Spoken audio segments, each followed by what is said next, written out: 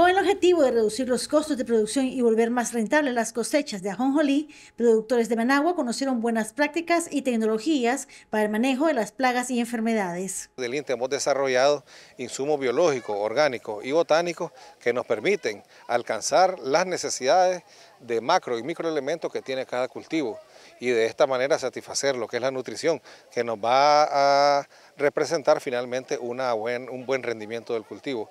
También el control de plagas y enfermedades que también lo realizamos con, con bioinsumos, ya sean estos hongos entomopatógenos o bacterias que nos ayudan, ¿verdad?, al control de diferentes plagas y enfermedades que se nos pueden presentar en los cultivos. Es bueno, mire, que nosotros nos estemos capacitando y eso, les digo honestamente, gracias al gobierno, ¿verdad?, nosotros hemos adquirido buenos conocimientos, buenas preparaciones.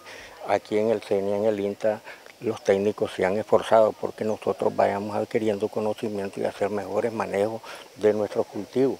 En Nicaragua se estima se cosechan aproximadamente unas 10.000 manzanas de ajonjolí.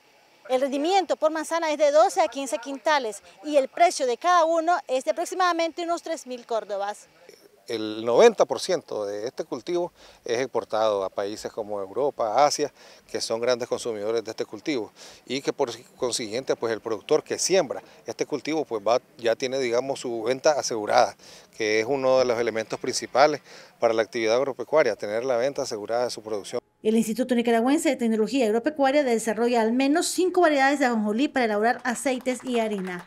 Celia Méndez Romero, TV Noticias.